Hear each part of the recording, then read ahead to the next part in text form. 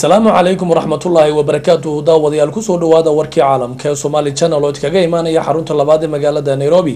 Warkana waxaa idiin soo gudbin doonaa anigoo ibraahim maxamuud jaamac. Qodobadaad wararkeena ku daawan doontaana waxaa u door karoon. Mas'uuliyiinta waddamada reer yurub ayaa shir jara-id oo ay ku yeesheen magaalada nairobi. Waxa ay kaga hadleen doorka waddamada reer yurub ay ka qaadan doonaan dubdhiska wadanka soomaaliya wakiilada qaramada midoobay u jooga soomaaliya ayaa iyaguna waxay kulamo la yeesheen. Qaar ka tirsan culimaadudiinka soomaaliyeed oo ay kala hadleen sidii lasu waafajin lahaa diinta iyo dastuurka la rabo in loo sameeyo wadanka soomaaliya. Waxaa xalay waqti dambe lagu soo gabagabeeyey magaalada gaalkacyo. Shirkii dib u heshiisiinta geedi socodka nabadda ama road maabka iyo weliba xilliga kala guurka qaar ka mid a culimaadudiinka soomaaliyeed ee muqdisho ku dhaqanaya iyaguna waxay qabteen kulan ballaaran oo lagaga hadlayo diintu waxa ay ka qabto dilalka qorshaysan ee inta badan ka dhaca gudaha wadanka soomaaliya. Qodobadaas iyo qodobo kaleba daawadayaal waxaad ku daawan doontaan warkeena balse marka hore qadar yar oo adeega bulshada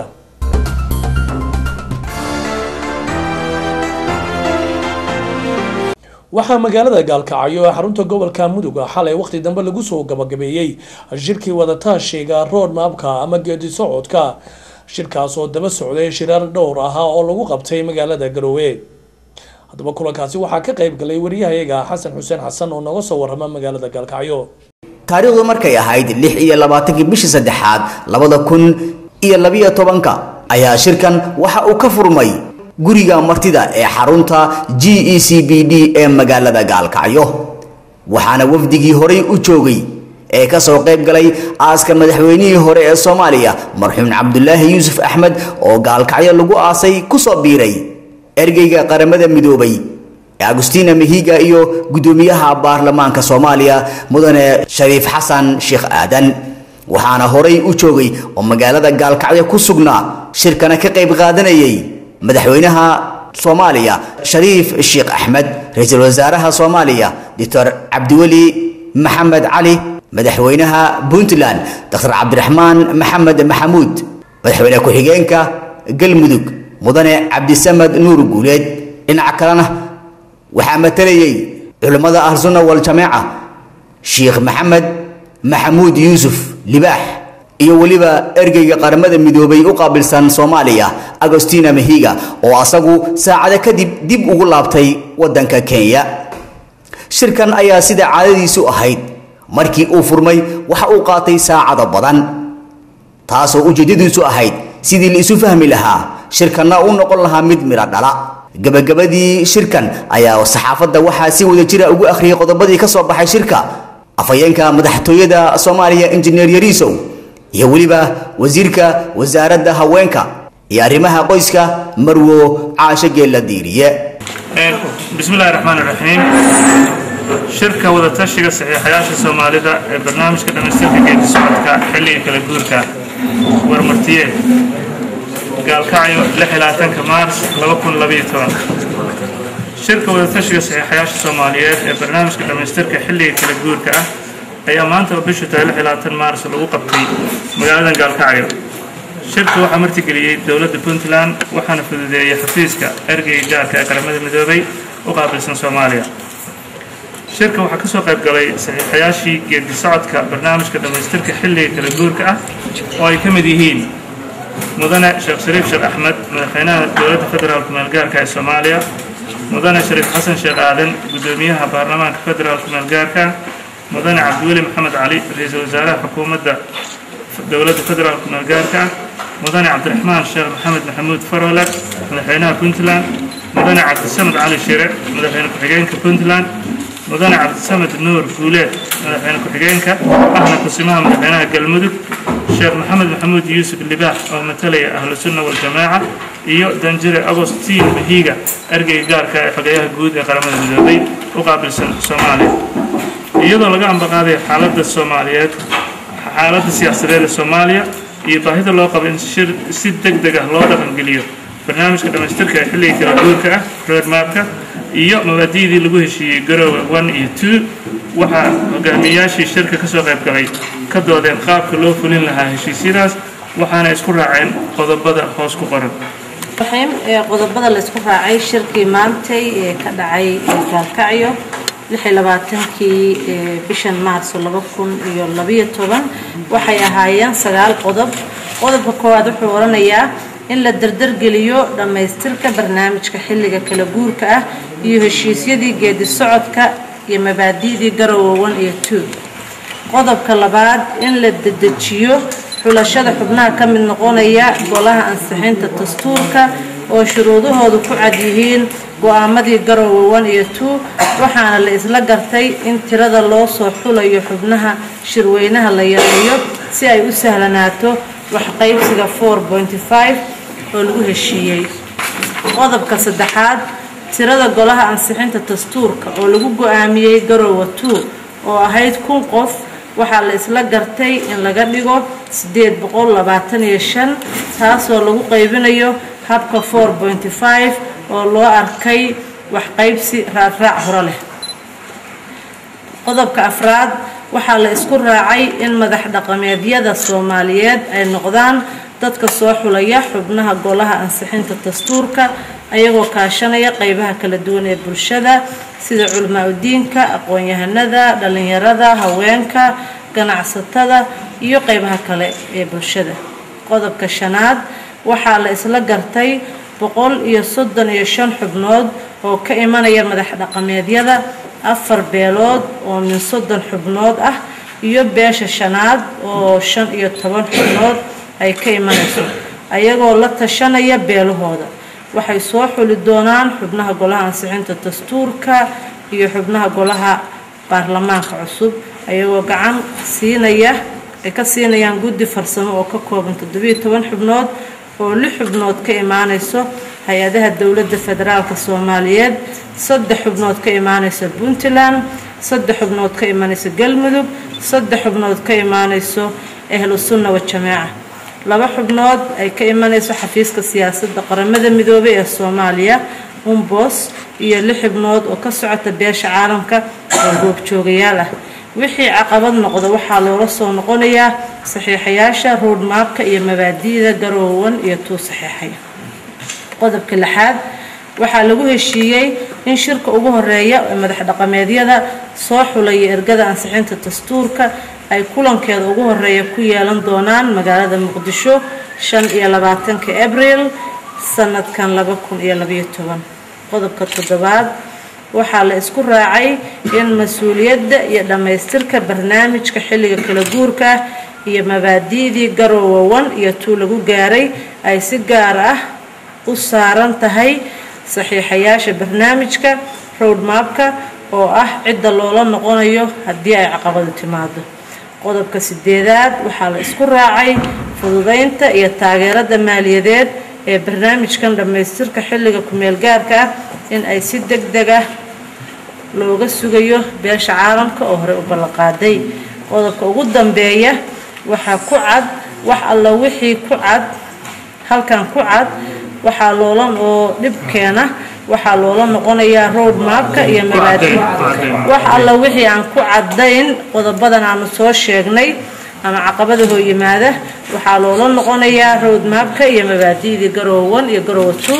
oo horey loo gaaray. Asalaamu calaykum ugu dambayntiina waxaa la filayaa in ergooyinkani ay dib ugu laabtaan meelihii ay ka yimaadeen maanta. Xasan xuseen xasan somaali janaal gaalkacyo markii uu dhammaaday shirka geedi socodka nabadda ama road maapka ee lagu qabtay magaalada gaalkacyo ayaa haddaba waxaa mikrofoonka somali channel lala dhex qaaday dadweynihii iyagoo ka soo qaybgalay shirkaasi si ay u dhiibtaan aragtidooda ku aadan gabagabada shirkaasi. Waxaa mar kale warbixintan eegaya wariyahayaga xasan xuseen xasan. Markii xalay lagu soo gabagabeeyey hoolka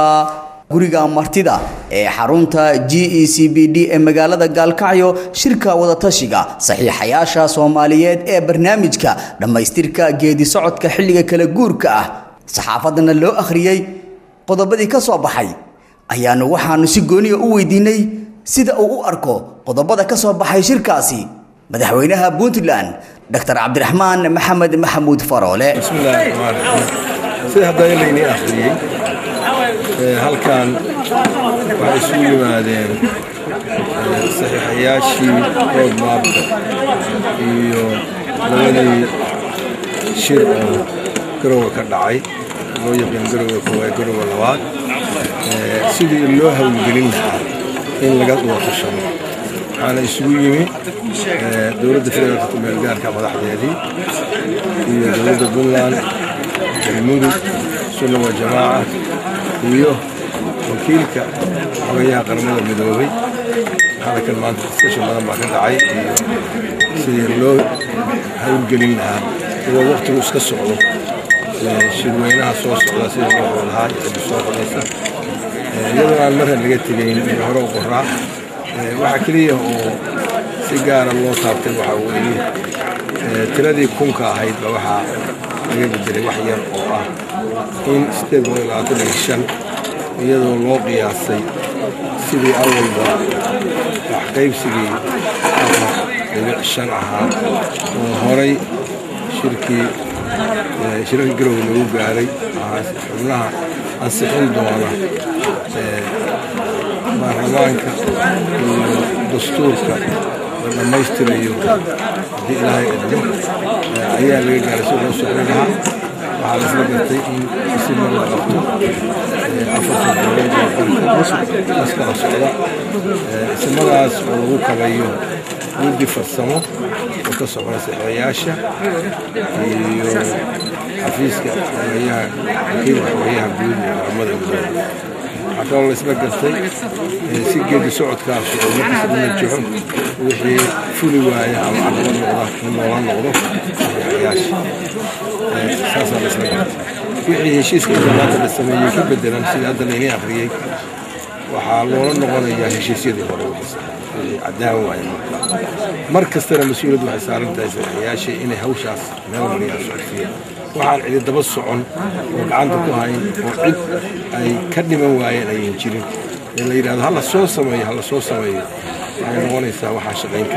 dadka soomaaliyeedna waxay u baahan yihiin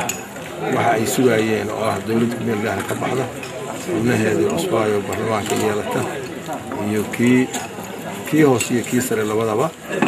iyo guddigii ansixin lahaa dastuur. Intaba in mas'uuliyaddeeda cidi waddo oo ay dhammaystirto. Sidaasaa layska gartay waxaa lagu magaaladan gaalkacyo ee puntland shirweynaha soo socdana waxaa layska gartay in loo qabto magaalada maxamed muqdisho tacaala welina haddaad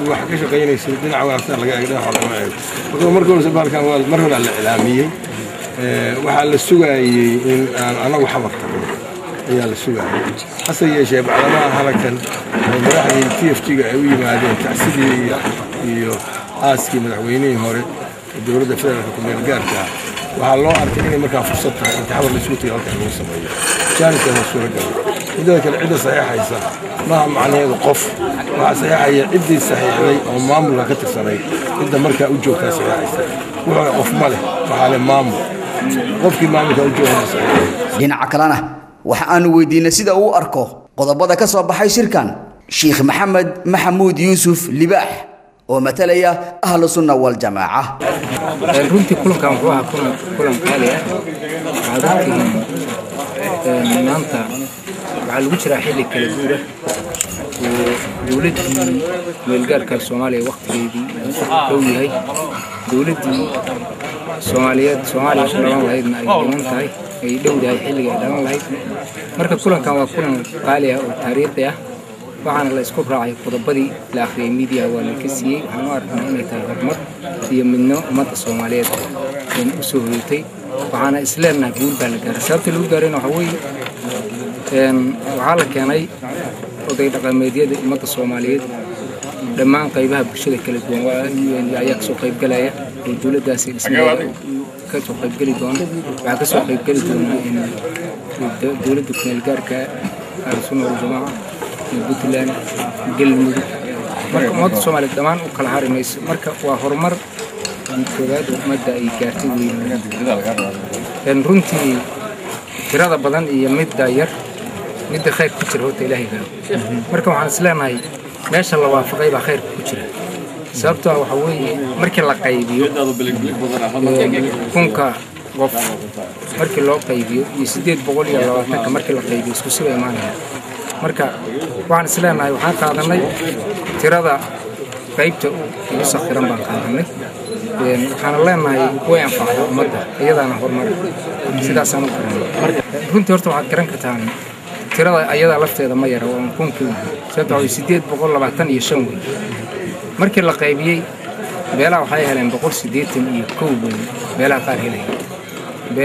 على هاكا waa tiro aad u fara badan ayada lafteeda waad garan kartaan marka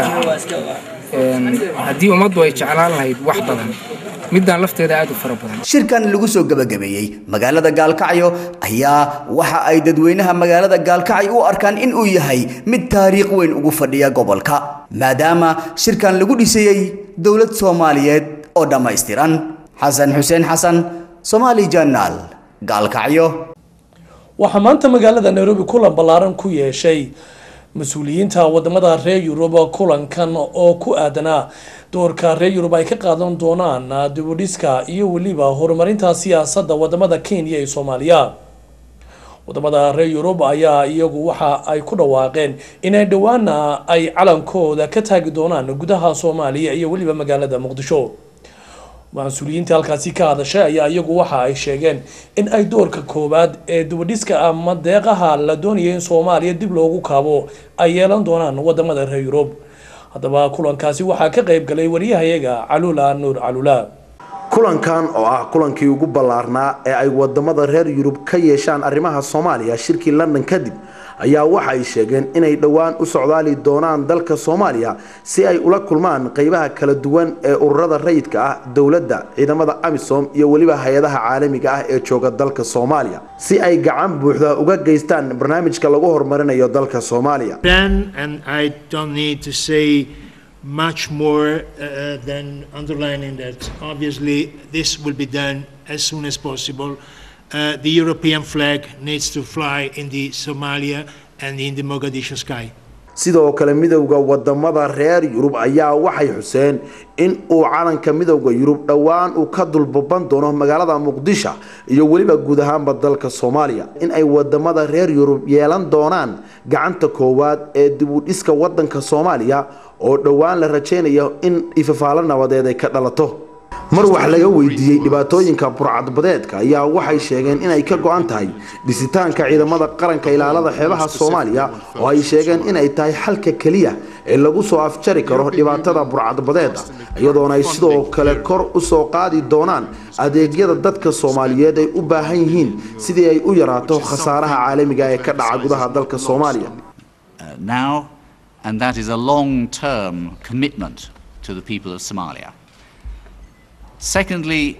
it is directed to tackling the immediate urgent needs. uqaybsanayaasha waddamada reer yurub ee dalalka kenya iyo soomaaliya ayaa sheegay in ay soomaalida u samayn doonaan warshadaha wax soo saarka kalluunka si ay u yaraato khatarta burcadbadeedka iyo weliba khataraha ka dhasha badda soomaaliya ugu dambayntiina waxay sheegeen in ay dalkan kenya qudhiisa ka caawin doonaan doorashooyinka soo socda sanada dambe ee labada kun iyo saddex iyo tobanka ayagoona sheegay inay u samayn doonaan qaabka codaynta casriga ah ee loo yaqaano electronic caluula nuur caluula somali channel nairobi.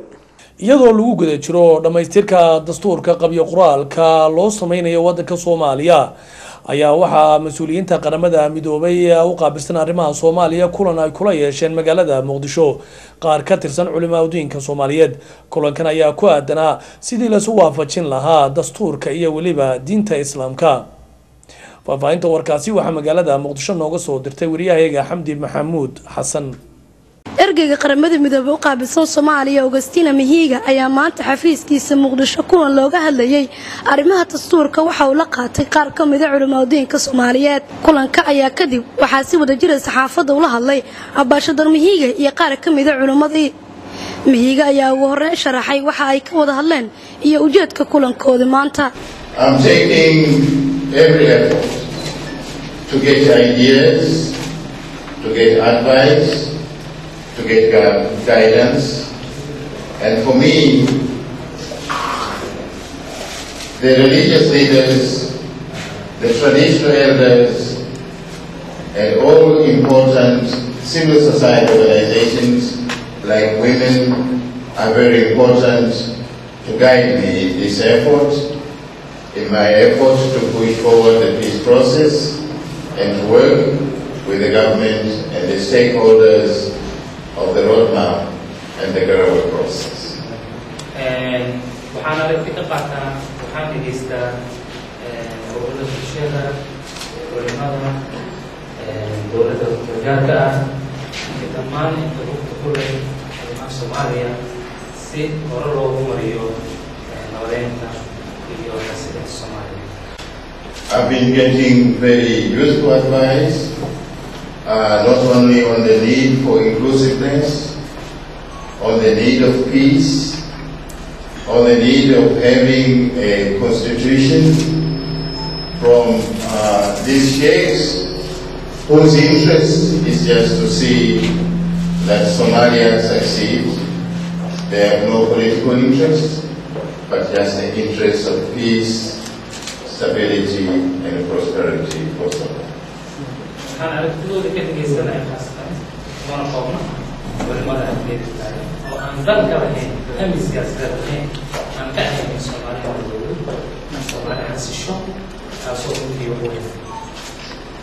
sidoo kale culimaa udiinkii la kulmay augustina mihiige ayaa sheegay in dastuurka loo sameynaya dalka uu boqolkiiba boqol ku salaysan yahay diinta islaamka islamarkaana la tashiyo lala yeelan doono dhammaan ummadda soomaaliyeed si loo meelmariyo dastuurkani ururada iyo culimmadu waxay kala yihiin ururadu waa qaybo ka mid a culimmada culimmadu waa wax guud waaye wax guud waaye marka hadda laga hadlayo xisbi siyaasiya iyo aqoonyahanka soomaaliyeed xisbigu wuxuu kulminayaa qayb ka mid a aqoonyahanka laakiin ma aha macnaha inuu aqoonyahanka ku jiraan culimo marka laga hadlayo culimmadu waxa weeyaan waa waa soomaaliya dhan culimadeeda ayadoo la fiirinayo itijaahaad kala duwan. Islaamiga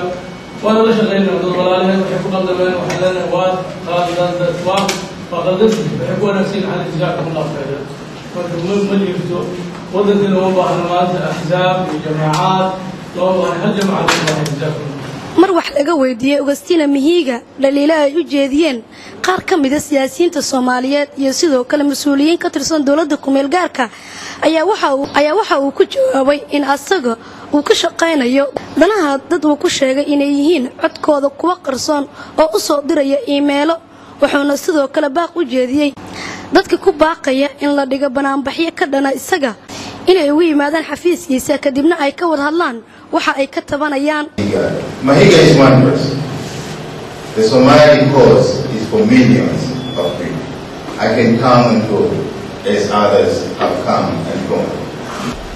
Waxaa fiican in waktigeena aan gelino nabadda iyo xasiloonida iyo horumarka intii qof mashquul uu ku noqon lahaa mahiga wakiilka qadaadiga halka waktigii la geliyo khilaafka waktigii la geliyo qoraalka iyo waxsheegidda waxaa fiican in dadka lagu abaabulo dhinaca horumarka loo jeediyo nabadda loo jeediyo xasiloonida kaasaa mudan maxaa jira mahiga uu imaana uu baxa waa qof sidoo kale ambaashadar mihiiga ayaa la weydiiyey arrintii maalmahan siyaasiyiinta soomaaliyeed isla dhex marayeen ee ahayd in aalusheekh ay haysato. Madaxtooyada waxa uuna ku jawaabay in hadalkaasi si qaldan ay u xamdi maxamed xasan xamdi hase ahaatee uusan ku doonaynin in lagu burburiyo dowladda ka jirta dalka. And there are some individuals who shouldn't be confused with the, uh, with the movement as such. So it may have meant individuals as such who belong waraaqdayda ku xusan tahay waraaqdayda ku xusan tahay waan soo diray maalmo laakiin haddaan ku noqdo al-sheekh waa balaaq jira mana ahayn inaan ashkaas xooga saaro marka waana hadda laygu wargeliyey waraaqdaasayda ku xusan tahay sida al-sheekh iyo iyo dad kaleba fahamkeeda ay noqon lahayd. Daagiro kastoo soomaaliya ay yaqaaneen yaa ashkaasta al-sheekha iyaan ahayn iyo maxay yihiin waa maasantii maxamed xasan xaqiis somaali channel magaalada muqdisho magaalada muqdishona kulan ballaaran oo looga hadlayay waxa ay diinta islaamku ka qabto dilalka qorshaysan oo inta badan ka dhaca gudaha soomaaliya ayaa lagu qabtay magaalada muqdisho. Faahfaahinta warkaasi waxaa magaalada muqdisho nooga soo dirtay wariyahayaga nimco maxamed bashiir kulankan oo ay ka qayb galeen qaar ka mida mashaayikhda soomaaliyeed ayaa waxaa looga hadlay qaabkii looga hortegi lahaa faldambiyeedyada foosha xun ee inta badan ka dhaca gudaha wadanka soomaaliya iyo sidii dhallinyarada soomaaliyeed looga wacyigelin lahaa ku-biiritaanka xarakada al-shabaab oo ay culimmadani sheegeen inay ku dagaalamayaan afkaar ka dhana diinta islaamka sheekh muuse macalin cagaweyne oo ka mid ahaa culimmadii kulanka ka hadashay ayaa sharaxaad ka bixiyey waxa ay diinta islaamku ka qabto dilalka loo geysto dadka muslimka ah iyo weliba shakhsiyaadka isqarxiya. Qodob afaraad oo lagu ruqsaynaayo in dadka la isbedeli karo iyo madaxiisa midida lagu saho haddana madaxa looga goyn karo ee korka loo saari karo ee weliba la iftoonayo le kun goor hadduu tawxiido waa la dili karaa. Hadduu masaajidka soo baxo waa la dili karaa. Lasii iftoonayo weli la sii jawaabayo wax diinta raadkooda maaha kuwa suugaha naftirkoodan waa og yihiin laakiin waa waxaa uga dhex jira waa kalooday rabaan aa ka wuxuu iri mogtahay qawgay ujeedaan qadigay ujeedaan qawka uma jeedo marka diin la'aantaas iyo xadgudubkaas iyo dhiiggaas uma jeedaan wax un iska carada hayatu dunyaha ah oo birbir oo saraac ah oo aan laga daba tegay ayay marka dadkaasu ay raaqdaynayaan taasaana marka sabab ugu ah dadku inay inay maarta ayaguna isdilaan dad kalena ay dilaan dadka waxaa loo dilay oo loo diiday oo qaatil ah qofka naftiisa xataa dilay isqarxintoo kale ama kalena meel isku qarxin naftada waxa laga xarimay ku jirta oo aadan dili karin maxaa sida loo soo sheegay kama sheekh cabdiqaadir maxamed abuukar sheekh soomow oo isna aragtidiisa ka dhiibtay kulankan ayaa soo dhoweeyey. Tallaabadii ay culimoudiinka ahlusunna wal jameeca ay kula wareegeen degmada ceelbuur oo ka tirsan gobolka galgaduud maalin maalin maalin kastaba saacad saacadda ka dambaysane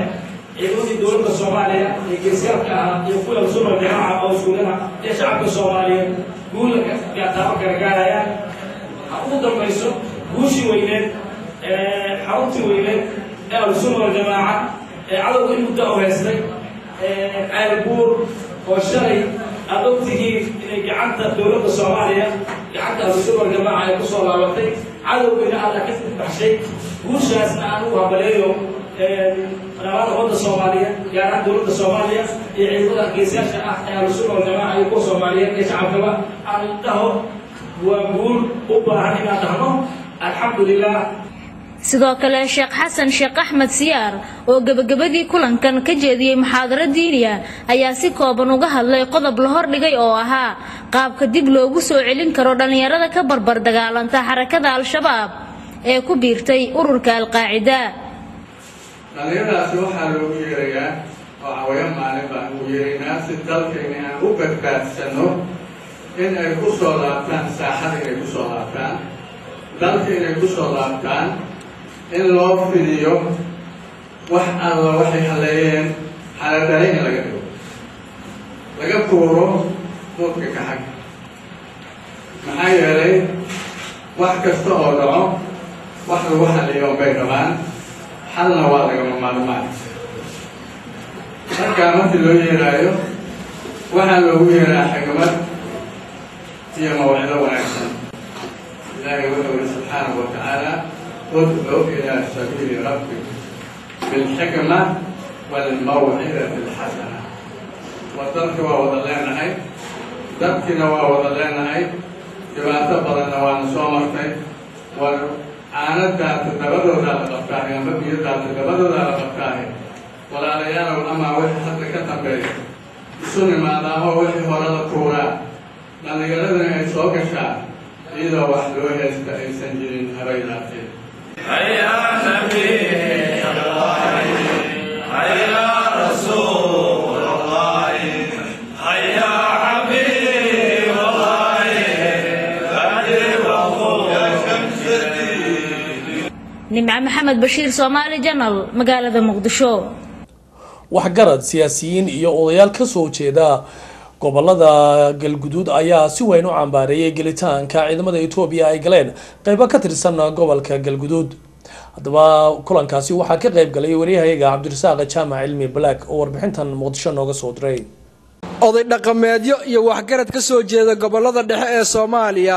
gaar ahaan gobolka galguduud oo kulan ku yeeshay deegaanka ceelasha biyaha ee duleedka magaalada muqdisho ayaa waxay cambaareeyeen soo gelitaanka ciidamada etoobiya ee qaybo ka mida gobolkaasi waxgaradkani ayaa waxa ay sheegeen inaysan marnaba raalli ka ahayn in ciidamada ethoobiya ay gudaha u soo galaan soomaaliya iyagoona sheegeen arrintaasi ay tahay mid ay dhaliilayaan. Si weynna uga soo horjeedaan waxgaradkani oo ay sheegeen in deegaanadooda lagu soo xadgudbay oday dhaqameedyadii kulankani ka qayb qaatay ayaa waxa ay soo jeediyeen in aysan marnaba raalli ka ahayn in geyiga soomaaliya ay soo galaan ciidamada ethoobiya oo ay sheegeen in cadaawo soo jireena ay kala dhexayso dadka soomaaliyeed annagana go'aankii beesha cayraan naloo dhiibay. Ma aha annagu hadal aan leenahay waa kii go'aanka beeshu ay ku gaartay. Beeshu waxay go'aansatay. Marka koowaad duulaanka gaalada inay cambaaraydo. Ka saaridda dalkan ay ka qayb qaadato. Oo qaybtii ay ay ka qaadato. Waxaa kaloo go'aansatay nimanka gaalada soo horkacay oo dalka u soo horkacay inaanay ku metelin magacooda. Inaan ka caddayno shir ballaaran oo maanta iyo halkan qabatay beesha cayd lagalana hadlayay duulaanka ay gaaladu ku soo qaaday dhulkan iyo dadkan muslimiinta ah ee soomaaliyeed oo afarta koona ka soo gashay. Kii ugu dambeeyey ee etoobiyaanka tigreega xabashida ay ku soo galeen gobolka galgaduud kaasoo in muddaaba ay ku noqnoqon jireen ayna u sahlayeen niman cumulo ah caamiliin caamiliina oo meeshaa deg oo meeshaas tegey nimankaasoo adigu idaacadaha ka maqlayseen oo odhanayay muxuu ahaay walaalahaya niman gaalo ah. Etoobiya soomaaliya waxa ka dhexeeyana dadkao dhan waa yaqaaniin waan ogyihiin kolley dadku dhallinyaray u badan yihiin waxa ka dhexeeya waa colaad soo jiri jirtay waa shan boqol iyo waxaa la sheegaa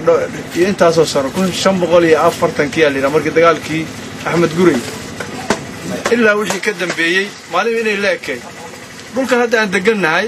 way sheeganayaan oo ardal xabashiyo yaqaan waxay leeyihiin soomaaliyan meelahan laga keen beri dambaa la keen. Wax uga socdaanna waa loogyahay way ku soo duuleen waxaana u sahlaya oo hor socda niman magac sheeganaya soomaaliyeed. Laakiin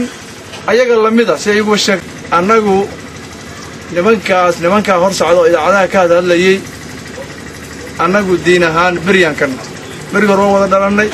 laakiin caqiida waa ku kala duwannahay war murtiyeed ka soo baxay waxgaradkani ayaa waxaa saxaafadda u akhriyey suldaan mahdi cabdirasaaq oo ka mid ahaa waxgaradkii kulanka yeeshay. Beeshu waxay caddaynaysaa nimanka garwadeenka ka ah gaalada ee gaalada wado ee hogaaminayo oo dalka tusaayo dadka oo magaca annaga nala sheeganahayo nimanka garwadeenka ka ah inaannu beri ka nahay waxa ay wadaan raallina aanan ka ahayn aanan ku qanacsanayn nugumana matalaan ayagaana ilaahay kula xisaabtami doonaa dagaalkan maanta soomaaliya ku socdo waa xarbi caalamiya wa. Muslimiintoo dhan ayaa lagu soo qaaday cid gaara iyo qolo gaara iyo jufo gaara kuma wajahno waxaa lagu soo qaaday dadka muslimiinta ah ee dhulkan soomaaliya geeska afrika deggan ayaa lagu soo qaaday dagaalkan. Cid gaara kuma socdo. Waxaan u caddaynaynaa inaan duulaankaas duulaankaas raalli aanan ka ahayn kana xunnahay kana xunnahay. Taasna walaaluhu ha ku qancaan walaalaha mursade iyo duduble ayaa si qaasa u cawday oo yidhi mataqaanaa cayr waxay noo soo horkaceen gaalada. Diyaar uma nihin inaan gaalo soo horkacno. Cabdirasaaq jaamic cilmi balaag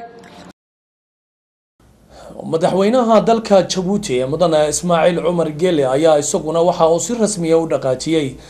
tartanka ciyaaraha gobollada ee wadankaasi jabuuti sida uu faahfaahinta warkan uu ku eegayo wariyahayaga ayuub cumar yuusuf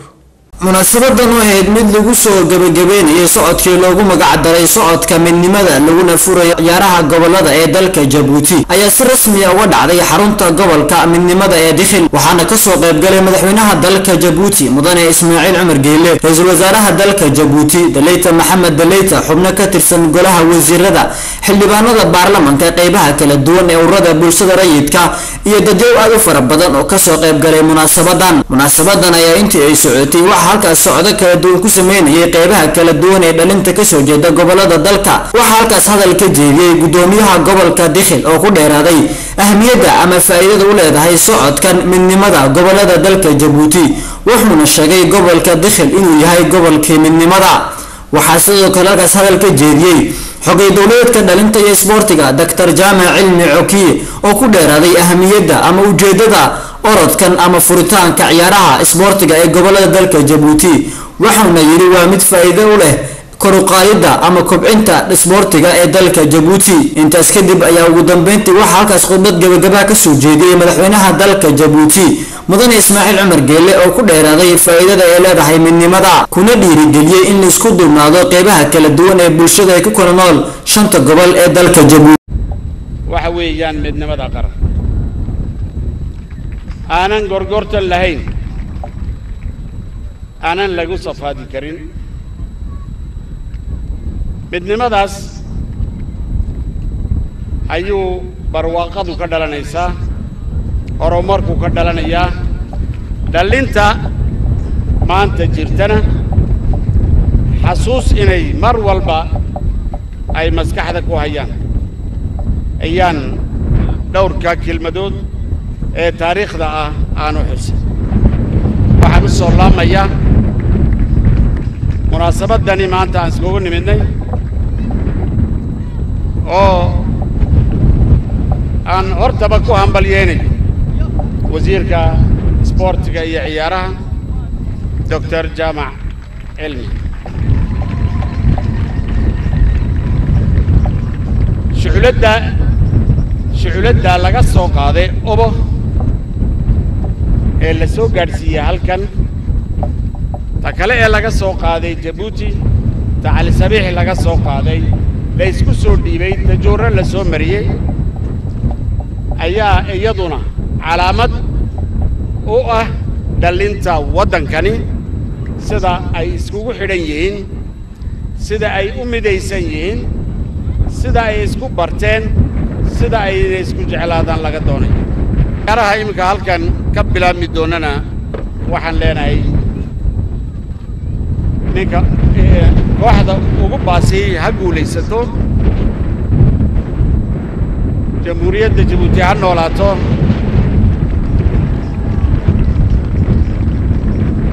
Shacbigeedu ha noolaado. Inkitiinadu ha noolaato. Dikhil anihaay intaas kadib ayaa waxaa si rasmiya madaxweynaha dalka jabuuti u furay ciyaaraha gobollada dalka jabuuti isagoo garab taagnaa xogey dowladeedka dhalinta iyo isboortiga doctor jaamac cilmi cokiye munaasabadan oo ahayd mid si heer sare loo soo agaasimay ayaa waxay dhalintan socdaal la dheer ku soo mareen shanta gobol ee dalka jabuuti waxaana sidoo kale halkaas lagu soo bandhigay ciyaar dhaqameedyo ka turjumaya dhaqamada kala duwan ay leeyihiin qowmiyadaha ama shacibka ku nool dalka jabuuti. Ayuub ismaaciil yuusuf telefishinka caalamiga ee somaali janal jabuuti. Wasiirka dibudejinta iyo dibadhiska somalilan ayaa maanta waxa uu hortegay golaha guurtida halkaas oo uu warbixin ka horjeediyay ku aadan waxqabadka wasaaradiisa. Faahfaahinta warkaasi waxaa magaalada hargeysa noogu soo diray waryahayaga maxamed faarax oomade wasiirka dibudejinta ee somalilan ayaa maanta hortegay golaha guurtida ee somalilan si uu halkaasi uga soo jeediyo. Warbixin ku saabsan waxqabadkii wasaaraddiisa waxaana wasiirka dibudejinta mudane cabdirasaaq cali cismaan uu halkaasi ka soo jeediyey. Kana akhriyey warbixin aad u dheer oo uu kaga hadlayay waxqabadkiisii wasaaradda intii uu xilka hayay isagoo sidoo kale halkaasi ku sharaxay waaxaha ay u kala baxdo wasaaradda dibudejintu khudbaddii dheerayd ee uu golaha guurtida horteeda ka soo jeediyey wasiirka dibudejinta ee somalilan waxaa hadalladiisii ka mid ahaa. Lixdaa bilood aan joogay ee wasaaraddana gaar laga soo dhigay. Runtii waxay nagu qaadatay wakhti badan. Dee waa wasaarad markii hore kala baxday bay ahayd. Wasaaradda arrimaha gudaha ama meel kala bagay sidaan maandhaydkeygii u soo urursan lahayn ayaan in badan ku hawlanay. Marka waxayna u kala baxdaa wasaaradda dibudejintu waa saddex waaxood afar waaxood. Waaxda qaxootiga waaxda barakacyaasha iyo waaxda maamulka iyo waax la yidhaahdo m r c oo tahriibayaasha ku shaqalay. Afartaa department markay ka kooban tahay runtii muddadii aan joognay anugu markaa haddii aan nii dul maro wasaaraddu waxaanu samaynay shan mashruuc baa ka socday. Shantaa mashruuc ee ka socday sidii aan u soo hubin lahayn ama ay u dhammaystirmi lahayn ayaan falankeyga qabanay anaan ku dabagalnay. Shanta mashruucee ugu waaweyn unisar baa qabatay wuxuu ka mid ahaa mid mashruuca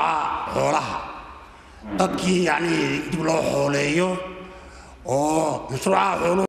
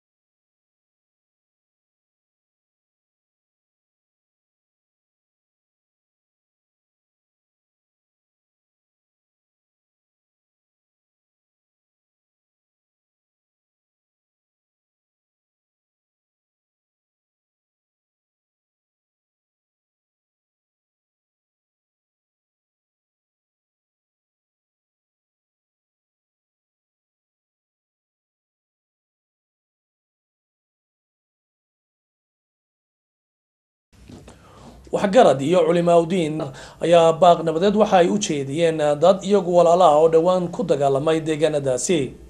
Sida uu faahfaahinta warkan uu muqdisho nooga soo diray waryahayaga cabdiqaadir cali xuseen koronto. Qaar ka mid ah culimaudiinka odayaasha iyo waxgaradka ka soo jeeda deegaanka raaso oo ka mid ah deegaanada hoostaga maamulka itoobiya oo shir jaraa'id ku qabtay magaalada muqdisho ayaa waxay baaq nabadeed u direen beelo walaalo ah oo ku dagaalamaya deegaanka raaso haddaba waa kuwan qaar ka mid ah odayaashii iyo waxgaradkii baaqa nabadeed u diray beelaha ku dagaalamaya deegaanka raaso mar kale iyo mar kale iyo mar kaleba waxaan codsanaynaa arrintaa iyada in dib dambe tiya dhacdan ay u dhicin. Mar labaadna ayna soo noqonin. Inta ilxaliya wal caqdi ee wax garanaysa ee miyirka qabta ee caqliga saaxiibka iyo thaqaafada iyo hadada wanaagaba arrintaa iyada inay sida ugu dhaqsiyaha badan haddii wax looga qabto si haddii ay diinta islaamka waafaqsan wax looga qabto dadka yacanaha dhibka iskala geystan ay u dheeruglaadaan wixii meesha wanaagahoo la keeno arrintaana ay anfacdo ayaan codsanaynaa maadaama annagu aan soomaaliya aan ku noolahay meeshaasna etoobiya dhexdeeda ay ahayd yacanaha annaga midda annaga naloo gudboonaatay waxaa weeye waa baaq nabadeed wanaag in la sheego oo yahay dagaalka ha la joojiyo saaya saana ha la yeelo intaa way wejiga hore ee tallaabada aan qaadana waa intaa haddii ilaahay yidhaahdo oo arrintaa iyada ah aan haddaan yidhaahdo waan sii noolaado qorshaha waxaa noogu jirta inaan yacanaha arrintaas marka la sameeyo dhexda inaan daliyaad aan ka galno oo yacanaha daliya arrintaas sida ay u soo noqonin mar dambe ku baaqaynaa meel kasta qofkii waxgarad ah oo ilaahay uu bini aadmi karaamaysan ka dhigay oo ilaahay uu ka dhigay maaragtay qof muslim ah oo diinta islaamka u hoggaansan ma amrayso bini'aadanimadu karaamada bini'aadanimadu iyo shareecada islaamka. Qofka qaatay ee ku dhaqmaya muslimka ma amrayaan labadaasi ilaa wanaag bay wax kala ma amrayaan waxaanu annaguna ilaahayna saasuu amrayaa oo addoon ugu yahay. Waxaanu ayidaynaa oonu amraynaa oonu annagu diyaar u nahay in arrintaas ay fusho. Baaq nabadeed baan diraynaa. Hadda ka horna waanu soo wadnay haddana waan wadaynaa insha allahu tacaala. Marka waxa weeyaan arrintaas taasaan ayidaynaa. Maanta iyo berri iyo saa iyo inta maaragtay nolosha nool tahay adduunyada ku noolahay islaax baynaas islaax baynalmuslimiin baan ayidaynaa dhowaan ayay ahayd markii xildhibaana ka tirsan baarlamaanka soomaaliya iyo waxgarad ka soo jeeda deegaanka raaso ayaa waxay baaq nabadeed u direen beelo walaalo ah oo ku dagaalamaya halkaasi. Cabdulqaadir cali xuseen koronto somaali channel muqdisho iskaashatada gaadiidka basaska iyo weliba tagaasida sida weyn uga shaqeeya magaalada hargeysa ayaa waxay si weyn uga cabanayaan shidaal sicir barar ku yimid shidaalka ay u isticmaali lahaayeen baabuurta iyagu ay ugu adeegaan dadweynaha magaalada hargeysa. Faahfaahinta warkaasi waxaa magaalada hargeysa nooga soo diray wariyahayaga khadar macalin deeq. Iskaashatooyinka basaska iyo tagsiilayaasha magaalada hargeysa ayaa cabasho ka muujiyey shidaalka baabuurta oo muddooyinkii ugu dambeeyey maalinba maalinta ka dambaysa uu qiimihii sicirka isku sii shareerayey iyagoo sheegay inuu gaadhay heer aanu isku bixin karin kharashka ku baxa baabuurta iyo kuwa iyaga masaariiftooda iskaashatooyinkan oo maanta si gaara ugu horrameeyey telefishinka caalamiga ee somaali channel ayaa waxaa kaloo ay sheegeen inaanay inaanay haddii uu shidaalku sidaas qaali ku sii ahaado aanay ku sii shaqayn karaynin oo ay iska dhigi doonaan baabuurta ay ku shaqeeyaan ama ay qaaliyeyn doonaan oo ay kordhin doonaan lacagta lagu raaco baabuurta basaska iyo tagsiilayaasha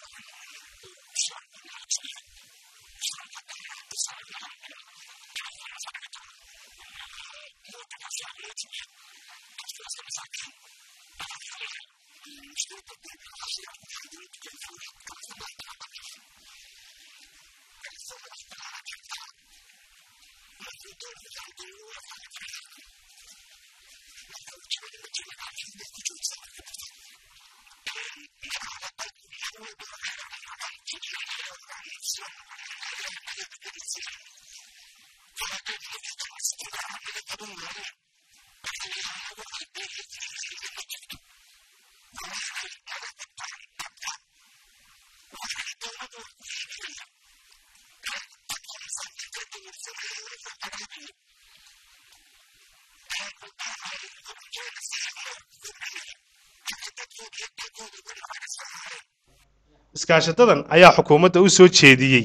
inay ummadda reer somalilan u fasaxdo inay si xor ah u soo dejiyaan shidaalka oo aanay cid gaara u xidhin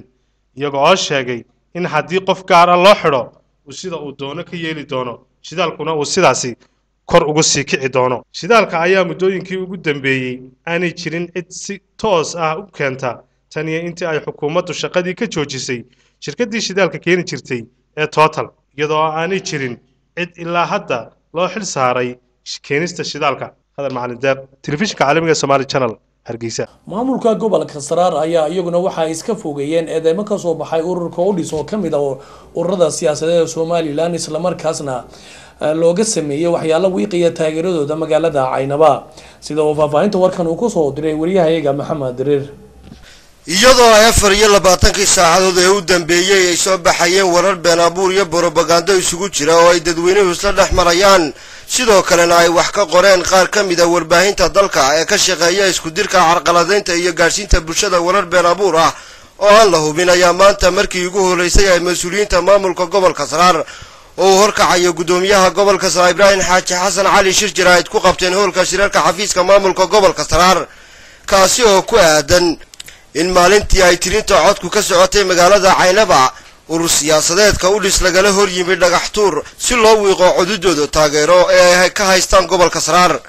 ugu horreyn waxaa shirkan jaraa'id ka hadlay maayarka degmada caynaba khaliif ismaaciil salabaan oo ka dhawaajiyey inay warbaahintu ka waantoobaan wararka buunbuuninta iyo brobagandada ah ee lagu kicinayo bulshada. Gobolkan saraar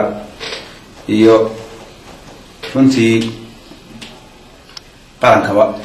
runtii markaan saa u idhaahdo halkan waxaa ka dhacay shan iyo labaatankii bishan saa la socotaan.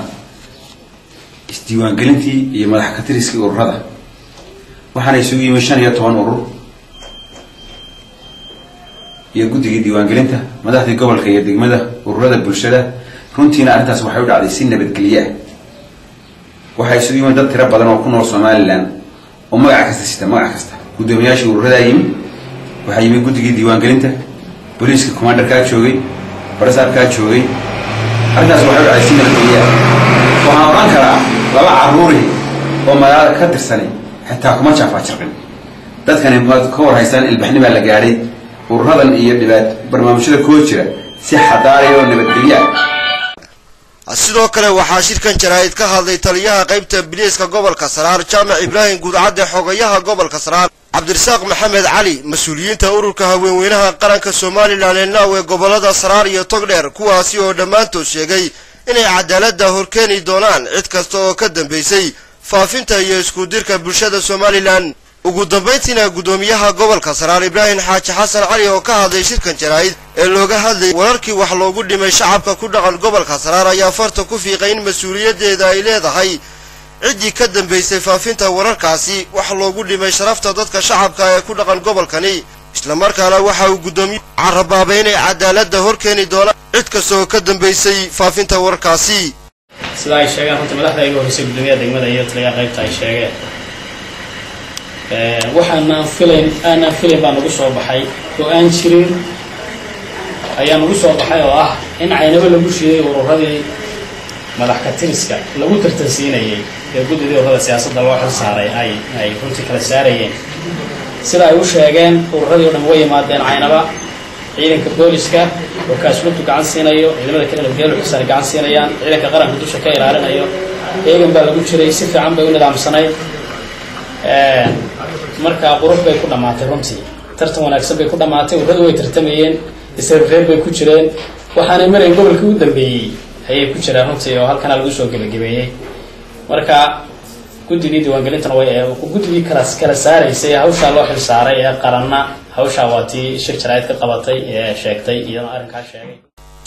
Dhanka kale mas'uuliyiinta urur siyaasadeedka u dhisa gobolka saraar ayaa iyaguna dhankooda maray warbaahintu wax ka weydiisay wax laga xumaado ku tilmaamay warkaasi buubuuninta ee lagu faafiyey websaydada qaar anigoo ah guddoomiyihii gobolka saraar ee ururka udhis waxa aan u sheegayaa dadweynaha somalilan mana jirto arrintaa wax qalada oo gobolka lagaga sameeyey ururka udhis. Mana wiman guddoomiyihii ururka udhis waxa dembiya oo cid loo geystayna ma jirto. Warkaasina waa been. Cid allaale cid la shiidayna ma jirto. Maxamed aadan dirir telefishanka caalamiga ee somaali channel caynaba xildhibaan mawliid macaane oo ka mid ah xildhibaanada dowladda federaalku meelgaarka ee soomaaliya ayaa shir jaraa'id oo ku qabtay magaalada nairobi waxa uu tacsi tiiraanyala u diray. Eheladii qaraabadii allaha u naxariisto uu ka baxay iyo weliba dadka soomaaliyeed. Madaxweynihii hore ee dowladda federaalku meelgaarka ee soomaaliya mudane cabdulaahi yuusuf axmed isagoo ka sheekeeyey taariikh nololeedkii cabdulaahi yuusuf axmed oo uu sheegay inuu ahaa shaqsi in badan ay dadka soomaaliyeed ay maskaxdooda ku hayn doonaan qaybsano haynaa la yiri waxaa la yidhi u qaybisa afarta beelood. Hawiye waa kala reebi wayne laba la guddoomiyaan siinay xuseen ciidid iyo hilowle annagaa ka sabarnay haye beel kaloo jirta soomaaliya ma jirto yiri cabdullaahi markaasaa yidhi intaanay ku dhantahay for clans wa waxaa la yidhi jareer weyne aawe. Cabdullahi yusuf aa dhahay xogayihii guud ee s r r c oo ashari yuusuf ashari ay ayaga ku magacaabeen. Ayuu cabdullahi yuusuf yiri yuusuf ashari ma noqonaya mawliid macaan oo jareer weynaha qaadanaya taariikhay ah golihii dhexena sidaas u igu daray. Kaligayaa geed hoysiis awaasa layga tegi. Warma ninkaasa ku sheegi karnaa qabiilow jamaa dacrood ma jeerteeg ma muxuu ugu wati yacni inay soomaali kala dhiman tahay unitigii wax ka dhiman yihiin ayuu maalintaas sidaa u yeelay taariikh waay lama iloobaana ilaahay naxariis allah siiyo waxaa markhaati iiga ah gabre oo hadda horfadhoo nala jooga markaas oo meesha isku hernima aniga gabraa isku herni geet hoystiis banaanka u sheekeeyahay soomaaliya oo dhan waxay ku jira qaraabaan xoogaa yar jireernimada asaga lagu reexay asalaamu calaykum waraxmatullah ilaahu naxariis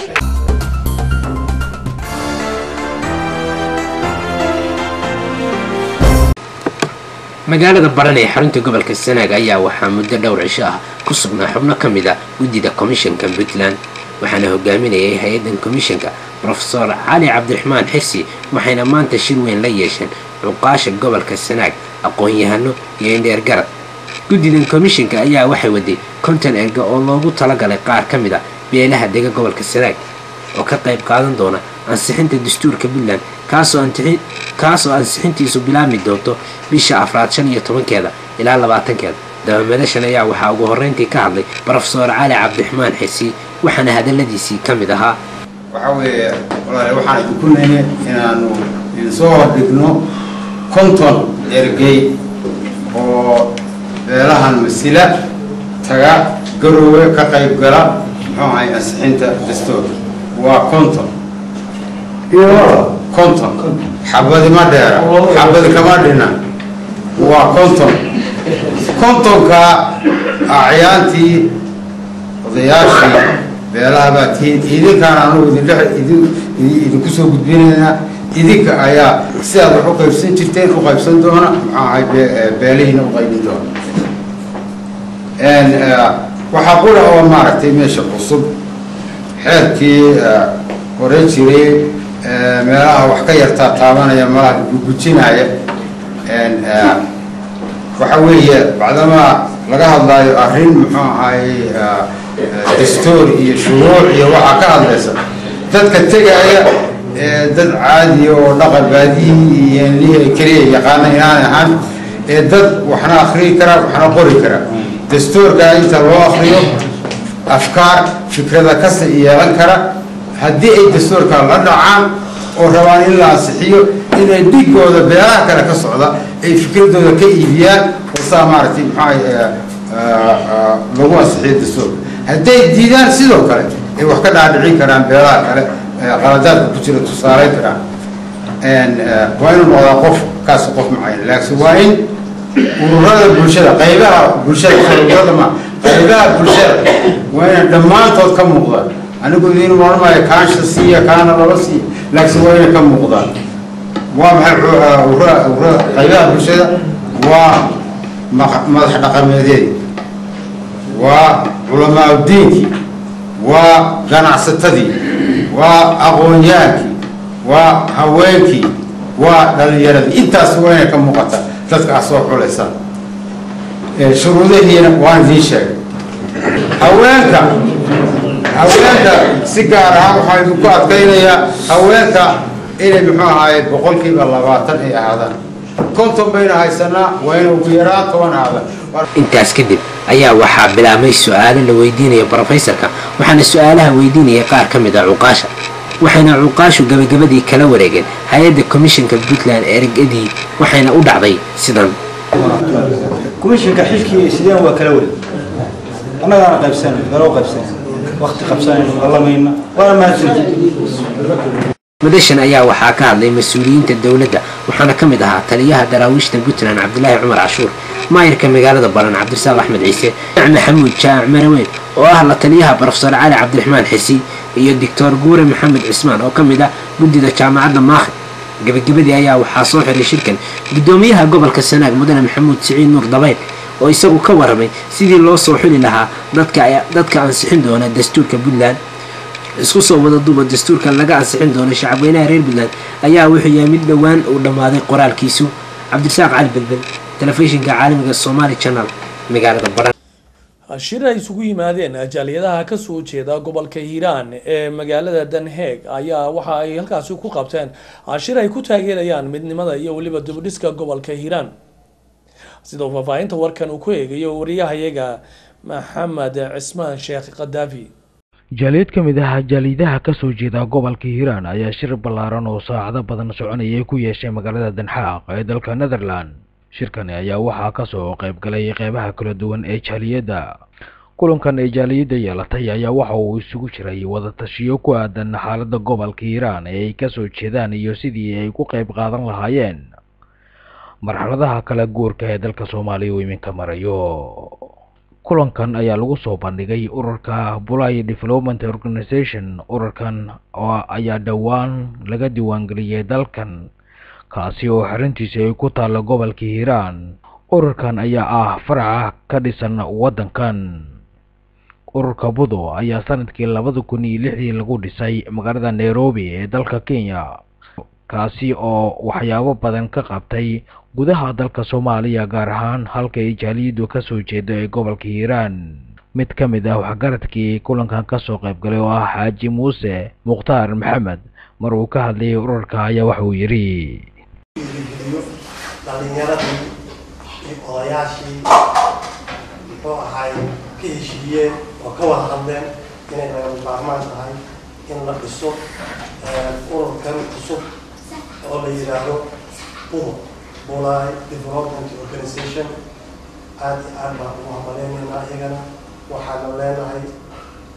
himiladii loo aas-aasay ururkani waa inaad ka bira keentaan. Waxgaradkii dadkii kale ee ka soo qayb galay kulankan saacadlaha ahaa ayaa isku raacay sidii ay qayb weyn ugu qaadan lahaayeen dib u dhiska dalka iyo gobolka hiiraan waa kuwan cabdalle xuseen xundow iyo qaar kale oo ka hadlaya aragtidooda shirkan waxaan isugu nimid inaan gobolkayna ka tashano iyo waddanka aan joogno inaan wax u qabano dhalinyarkayna odayaalkayna waxgaradkayna inaan kula tashano waadna kumaadsan tihiin sida ay si ka wanaagsan ummadaha dariskayna in la dhowrna aad baan nagu yaan u jecelnahay duulaha maanta waxay ahayd maalin aad iyo aad u qiimo badan maalin aad iyo aad u farxadda badan shirkan meesha ka dhacay kaas oo looga hadlay dhammaan horumarinta sida gobolka hiiraan loo horumarin lahaa sidaad ka warqabtaan gobolka hiiraan. Waa gobol muhiim ah. Waa gobol ku yaalla bartamaha dalka soomaaliya. Waa calooshii dalka. Waxaan aaminsanahay hadday hiiraan hagaagto dalka intiisa kalena inuu hagaagi lahaa. Arrimahaasi si fiican baa loo falanqeeyey baaq nabadeedna waa laga soo jeediyey. Sidii ummadda reer hiiraan ay gobolkooda u horumarin lahaayeen. Waxaa kaloo si aad a looga hadlay in loo duceeyo ummadda soomaaliyeed. Dhibaatada ay ku jiraan in ilaahay ka saaro inay nabad buuxda helaan in wada heshiis ay helaan in dalka dib loo dhiso nabadiisa in laga shaqeeyo. Dhammaan arrimahaas oo dhan si fiican bay u dhaceen. Waxaan horta aad iyo aad ugu faraxsanahay shirkan ka dhacay magaalada danxa waddanka holland. Ujeedka looga hadlayna waxay ahayd sidii horumar loo gaarsiin lahaa oo dadka dhibaataysan qaban lahaa runtii waxaa ah shay aad iyo aad u qiimo badan oo ay ka soo qayb galeen waxgarad siyaasiyiin aqoon-yahano ka soo jeeda gobolka hiiraan kolley waxyaabihii lagu wada heshiiyey waxay ahaayeen kuwo aad iyo aad isku raacay sidii soomaaliya iyo gobolkii iyo dadkii iyo diyaasadii soomaaliya marka waxaan maxaa la yidhahdaa sheeg meesha ka soo qayb galay siyaasiyiin aqoon-yahano dhalinyaro iyo haween iyo caruur intaba marka loomana kala harin maxaa la yidhahdaa barnaamijka iyo waxtar shirkan ayaa daba socday shirarkii hore ee jaaliyaddu ay yeelan jirtay walow shirkani uu muujinayay isbeddel doon iyo u istaagidda dadkooda iyo dalkooda. Kulankan ayaa wuxuu ahaa mid ay soo qabanqaabeen jaaliyad ka mid ah jaaliyadaha daga gobolka hiiraan kuwaasi oo doonayay sidii ay gobolkooda dadka ku nool iyo weliba ay u horumarin karaan gobolka ay ka yimaadeen ee hiiraan. Maxamed ismaan sheekh kadaafi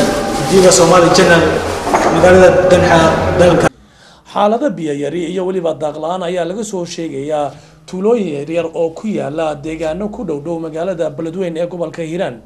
Sida uu faahfaahinta warkan uu ku eegayo wariyahayaga cismaan aadan carays saakay aroornimadii hore ayaan gaaray tuulooyin ku yaalla dhanka waqooyi magaalada beledweyne halkaas oo laga soo sheegayay biyaraan iyo daaqxumo soo wajahday dadka reer miyiga ah tuulooyinka aan tega ayaa waxay ahaayeen bannaaney ceelgaal ilkacaddo hiiraan doon gaduud halkaas aan kula kulmay waxgarad ku sugnaa tuulooyinka ay oo ii sheegay in coloodii ay ku dhammaadeen abaarihii kol hore ku dhuftay gobolka. Meel u guuri karaan male daaqna ma haystaan waxa li wax dugu haystaan male ma waxa weeyaan waa u jeedaa marka haddii adduun weynaha iyo mataqaanaa hay'adaha samafalku. Hadday tuuleedka ku qabanayaan waa gobol ku wareegtaysanayeen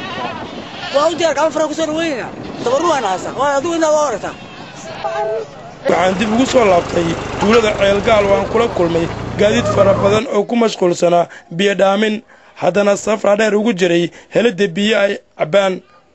taasoo ay sheegeen inay kaga yimaadeen masaafe aad u dheer waa kan mid ka mid ah milkiilayaasha ceelasha ku yaalla tuulada ceelgaal oo ka warbixinaya xaaladda biyaraanta iyo kaalmada ay ka filayaan hay'adaha iyo cid walba oo wax ka qabanaysa dhibaatada ceelasha. Aleeyiraa waxaan joogaa ceelgaal waxa weeye ceelasha waxaan rabaa inaan ceelasha ceelo la waxaa looga baahan yahay in biyo laga keeno ay ceelasha oo la shimayteeyo. Baraagaha ceelasha waa badan yihiin. Waxaa loo baahan yahay in laga shaqeeyo hay'adaha waxaan ka codsanayaa. Biyo male biyaha waa eber. Waa raqiis waa biyo ma jiraan. Waa la laayahay. Waxaa la rabaa inaan biyo ceelasha la qodo laga shaqeeyo la wanaajiyo la dhiso. Waxaa loo baahan yahay ceelgaal in la qodo. Ceelishii biyaha la dhaami jiray waa ha sheegin waa gureen waa ha sheegin. Waxaa loo baahan yahay in la qodo oo la habeeyo oo la dhiso oo la wanaajiyo oo loo yimaado intaa lagu arko. waagaag adigu waxaa tahay mid mid ka mid ah milkiilayaasha ceelasha ku ceelasha milkiilada ceelashii ahay waxaa loo baahan yahay ceelasha in la arko loo yimaado loo yimaado la fiirsho. Waa ka. Anigoo ah daryeelaha tuulada ilka cabdil jooga xanaanada xoolaha waxaan hay'adda ka codsanaynaa in oonleey ceelashii ay naga gureen gaariyaashana halkaan ay cabbaan biyola'aantaas aan rabnaa in hay'adda wax nooga qabato marka imise ceelaa ku taalla tuulada aad macnaha alkacadda oo macnaha aad saddex ceel. Marka saddex ceel miyaysan kaafinayna tuulada ma kaafiyaan waa go-een waa biyo yareeyaan. Qaar xoolaha iyagu ama laga dariirshaa dhaca dhanka bari ee gobolka hiiraan ayaa xilligani waxaa ka jira biyaraan kadib markii ay sheegeen inay ceelasha isticmaali jireen aaday u biyo yareeyeen.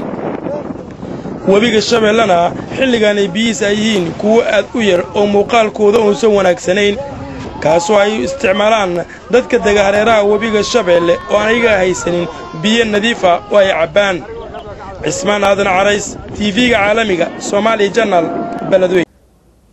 jaaliyadda makhir state ee bariga africa ayaa kulan ay ku yeesheen magaalada kambale ee caasimadda waddanka uganda. Waxay kaga hadleen arrimo ku aadan sidii ay uga qayb qaadan lahaayeen horumarinta deegaanada hoostaga maamulka makhir state sida uu faahfaahinta warkan uu ku eegayo waryahayaga jaamac yuusuf dabrani jaaliyadda maakhir state ee bariga afrika ayaa kulan aad u ballaaran isugu yimid magaalada kambaala ee caasimadda dalka uganda kulanka ayaa yimi kadib markii xubnaha ugu sarsareeya jaaliyadda reer maakhir ee nairobi ay booqasho ku tageen magaalada kambaala ee dalka uganda. Kulanka jaaliyadda maakhir state ee uganda ka dhacay waxaa ka qayb galay qaybaha kala duwan ee bulshada soomaaliyeed ee dalkaasi ku dhaqan oo ay u badan yihiin ardayda soomaaliyeed ee halkaasi wax ka barata. Intii ay socotay xafladdu waxaa laga soo sheekeeyey taariikhda maakhir state iyadoo sidoo kale laga soo hadal qaaday siyaabaha loogu baahan yahay in looga gudbo marxaladaha gobolka hortaagan. Cabdinuur sharmaake oo ka mid ah xubnaha jaaliyadda maakhir state ee nairobi ka tegay oo xafladaasi ka hadlay waxa uu soo hadal qaaday khayraadka ilaahay ku minaystay maakhir state. Deegaamada maakhir state ee soomaaliya waa dhul dhul hodana wuxuu leeyahay khayraad fara badan oo dabiici ah. Sida khayraadka ku jira buuraha dahabiga ee calmadow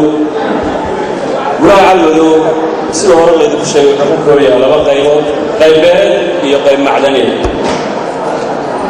dalka oo soomaaliya wuxuu leeyahay macdan aad u fara badan iyo shidaal badan oo ku jira. Sida hore laydinku sheegay magaalooyinka kalaa ceelbu buraan iyo laasqoray laasqoray oo loo malaynaya haddii ceelka laga boqdo baddu inay soo gasho batrool oo iyadoo saasay jirto ayaa beeryahan dambe waxaa soo baxayay hay'ado ajnabi ama shisheeye oo si tuuganina u guranaya macdanta gobollada sanaag ama gobollada maakhriska oo soomaaliya oo dhan markii ay soo dhammaatay xafladda aadka u ballaarani waxaa halkaasi lagu soo gudbiyey baaq ay soo saareen jaaliyadda maakhir state ee bariga afrika. Cabdiqani calimoon oo guddoomiyihii waxbarashada hore ee gobolka sanaag ah ayaa baaqa akhriyey. Qodobadii ka soo baxay shirkaas lamber kow in la midayo jaaliyadaha east africa ee reer maakhir sida jaaliyadda uganda tan kenya iyo kuwa kale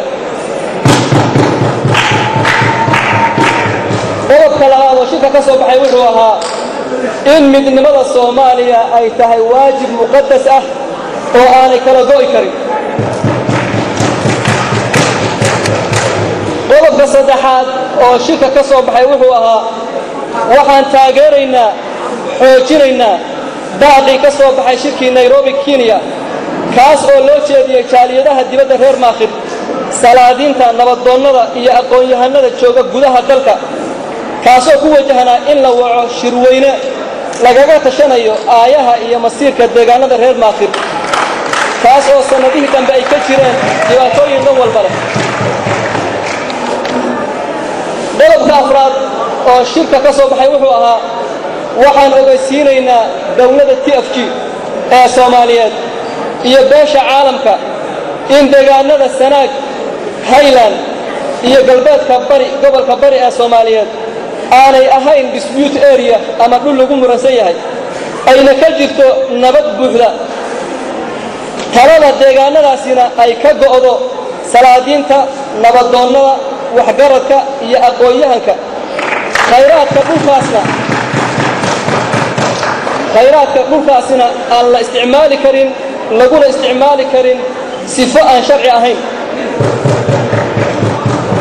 xafladda jaaliyadda maakhristeed ay ku qabteen magaalada kambaala ayaa ahayd mid dhowr waxyaabood lagu soo bandhigay. Dadka halkaasi ka hadlay waxaa ka mid ahaa ganacsada jagac oo gobolka caanka ah iyo wakiilka khaatimo state ee uganda cabdiqaadir kaarshe dhammaan dadka waxa ay soo dhoweeyeen kulanka jaaliyadda maakhir ee bariga afrika iyo howlaha horusocodka ee jaaliyaddu wado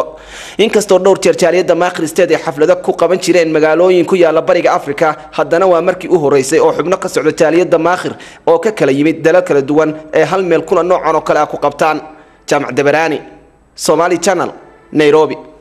Daawadayaal intaasi waxaa noogu dhammaaday warkii caalamka ee somaali channel oo idinkaga imaanaya xarunta labaad ee magaalada nairobi. Haddii eebaha raxmaanka ogolaado intayna dib ugu kulmi doono warkan warka xiga waa dhammaantaya oo idinkaga tegaynaa. Asalaamu calaykum waraxmatullaahi wabarakaatu